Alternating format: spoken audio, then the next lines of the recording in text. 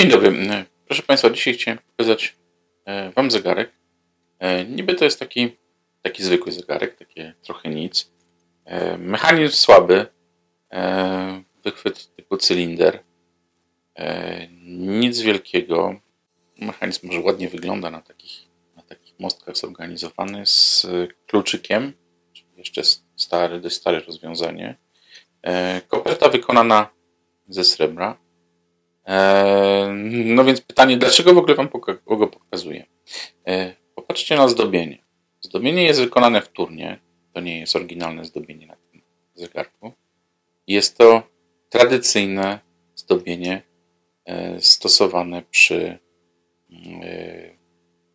stroju krakowskim. Czyli to jest taka, taki zegarek, który łączy ludowy styl krakowski z mieszczańskim trybem życia. Bo generalnie e, na wsiach nie, mm, nie używano takich zegarków, szczególnie kobiety nie używały e, zegarków, bo jest to zegarek oczywiście e, damski, kieszonkowy bądź łańcuszkowy. I tutaj ewidentnie to, ta zdobina jest bardzo charakterystyczna. Pierwsza moja, moja impresja była taka, że to jest wykonane w stylu zakopiańskim, czyli no, w sławnym stylu, który, który kiedyś e, w, e, na Podhalu został stworzony przez Wyspiańskiego e, i na podstawie ludowych prac sncerskich, góralskich, prac sncerskich.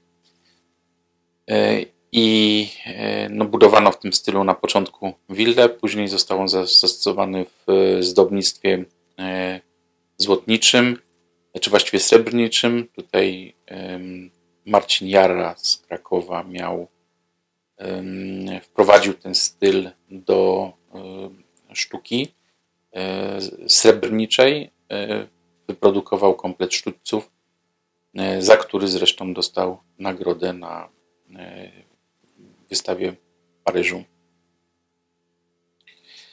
E, no i tak to sobie skojarzyłem. Okazuje się, że, że nie jest to aż tak proste i aż tak oczywiste, dlatego że e, w Muzeum Etnograficznym znalazłem ozdoby e, do welonów, oczywiście ozdoby ślubne do, do welonów do stroju panny młodej, które wykonane są dokładnie w taki sam sposób, z dokładnie takimi zdobieniami, jakie tutaj są odwzorowane na tej kopercie. E, sprawa interesująca, e, sprawa ciekawa, być może e, właśnie ten styl zakopiański był takim połączeniem stylu krakowiaków i górali, tak, tak jak to się zwykło mówić.